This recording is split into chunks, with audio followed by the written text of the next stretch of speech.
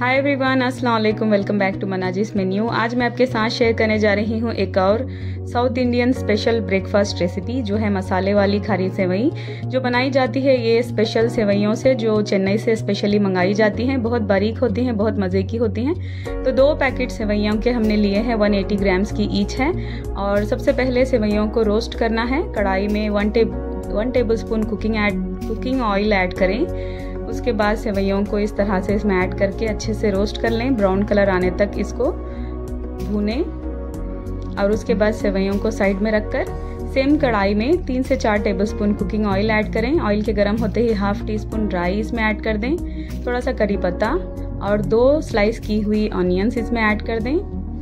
और उसके बाद वन टीस्पून अदरक लहसुन का पेस्ट ऐड ऐड करके अच्छे से फ्राई करें। अदरक लहसुन की रॉ स्मेल जाने तक इसको फ्राई करें। उसके बाद वन टोमेटो इसमें ऐड कर लें।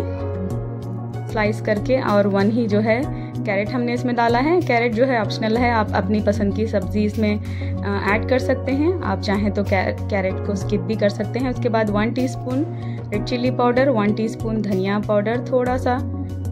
गरम मसाला क्वार्टर टी स्पून जितना और वन टीस्पून कोकोनट पाउडर और थोड़ी सी क्वार्टर टी स्पून जितनी हल्दी ऐड करें और अच्छे से मिक्स करें और मसालों को अच्छे से पकने दें। हरा धनिया भी इसी के साथ ऐड कर लें और इस ग्लास से मेजर करके एक पैकेट सेवैयों के लिए एक ग्लास पानी जो है इसमें ऐड किया है मैंने।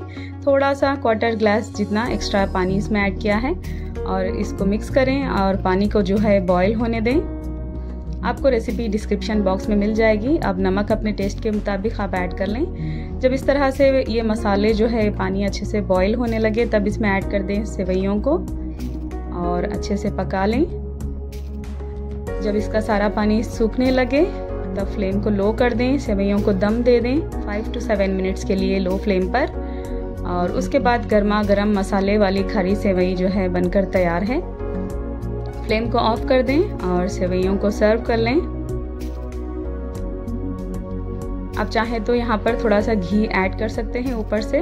तो बहुत ही मज़े की, बहुत ही टेस्टी मसाले वाली सेवई बनकर तैयार है। इसको अचार के साथ या फिर कोकोनट पाउडर्स के साथ आप इसको जो है सर्व करें। बहुत ही मज़े की सेवैयाँ हैं, ज़रूर आपको पसंद आएँगी। ज़रूर ट्राई करिएगा। दुआ में याद रखिए। हमारे चैनल को लाइक, शेयर, सब्सक्राइब करना ना भूलें।